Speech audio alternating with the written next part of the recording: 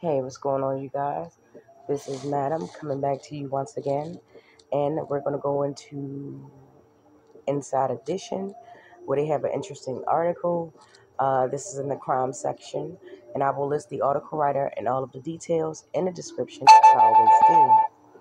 It says a dad did not want to pay his ex wife over $100,000 in child support, so he faked his death. A Kentucky man confessed to faking his death so that he would not have to pay $100,000 in child support to his ex wife. Jesse Kipf, age 39, managed to gain access to Hawaii Death Registry system, where in January of 2023, he created a case file for his death, assigned that case to himself, and then certified that the case uh, using the credentials of a physician without the individual's knowledge or authorization, according to a plea agreement obtained by Inside Edition Digital.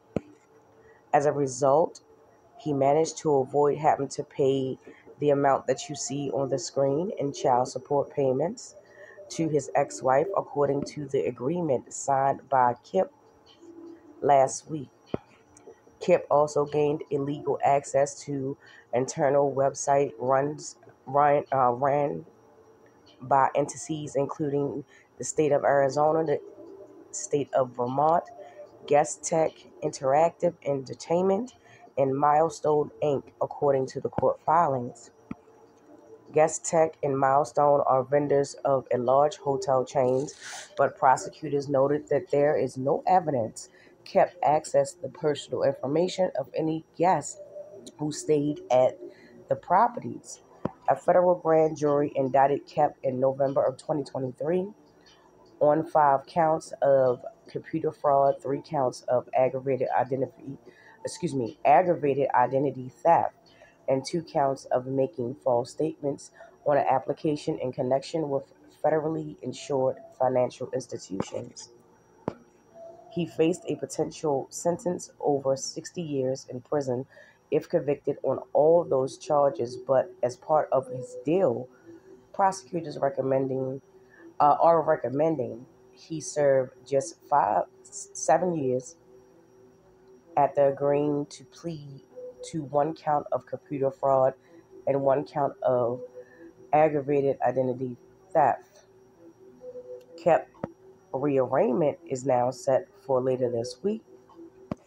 He will also have to pay the amount that you see in restitution to the state of California, child support services for those missed support payments, as well as the second amount to Milestone and the third amount to Guestek for damages caused when he illegally accessed those corporate networks, according to the agreement.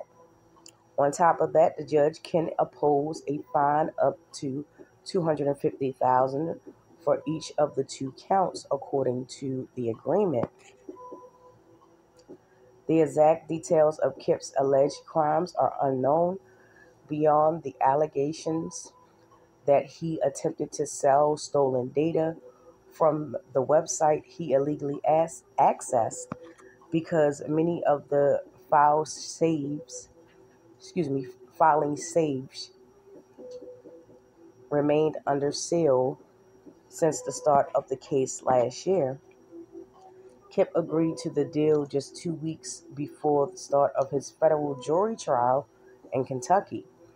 Inside Edition Digital reached out to Kipf's lawyer, but he did not return a you know a, a response for the comment. Okay, chose not to comment. So, wow that's a, that's a hell of a lot to go through just not to pay child support. I mean, given what you face, the potential of that actually being imposed on you at everything is said and done, you know, uh, I would have just paid the the first amount at the top. You know, I mean, I mean to, to go through those links and then on top of that to also put other people's uh you know, personal information in jeopardy of being uh, possibly stolen and distributed is very frightening indeed. I mean, who hasn't, you know what I'm saying? Who hasn't checked their credit union, you know, just on, you know, just to be, you know, aware and update. And it's because of things like this. How he had the technical know how and all of that, we probably will never know unless they, you know, tell us. But all in all, I'm glad that he got caught. I hope they impose something. I mean, for 60 years, you, you drop it down to seven years. That's crazy. Why would you? Uh, our justice system, what did you give up? You know, because I'm I'm thinking either what did you give up or what could you prove? Okay? Because it, it, it seems like it's a little circumstantial going on. You know, they just go, hey, we'll drop, you know, everything else off. We'll just give you seven years and impose a whole hell of fines on you and all of that. You know, you know, just ridiculous amount, not ridiculous amounts, but significant amounts of money that, you know, after he serves his time in jail, he would have to make that money and give that money back. You know, so it's kind of I don't know. It's it's a lot. Uh, it just seems like a weird agreement to me. But I don't know. Let me know what you guys think down in the comment section, as we always do. Um, thank you so much. If you stick around this long to the end of the video, uh, come chop it up with me in the comment section. And uh, don't forget to like, subscribe, and share. With that, I will get with you in the next one.